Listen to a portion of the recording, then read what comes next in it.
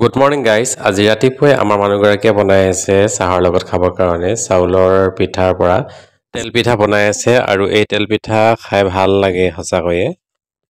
এই তেল পিঠাই আজি আমি চাহৰ লগত জুতি ল'ম। আপোনালোকে এনেকৈ পুৰি খাই নাখায় নাজানো কিন্তু আমি কিন্তু মাজে সময়ে এনেকৈ চাহৰ লগত পুৰি খাওঁ আৰু খাবলৈ বহুতে টেষ্টি লাগে। সেয়েহে মাজে সময়ে আমি খাই থাকোঁ। সদায়নো বিস্কুটৰ লগত কিমান আৰু চাহ খাব? বিস্কুট খায়ো এদিন আমনি লাগে সেয়েহে মাজে সময়ে আমি এনেদৰে খাওঁ।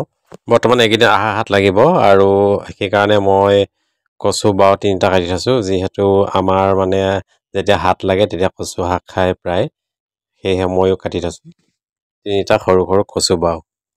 এইফালে আজি দুপৰীয়া ভাত খাব লোৱা হৈছে আৰু ভাতৰ লগত আছে মোৰ দালি পনী চালাড আচাৰ। আৰু এনেকৈ আজি দুপৰীয়া ভাত সাঁজ খাবলৈ লৈছোঁ।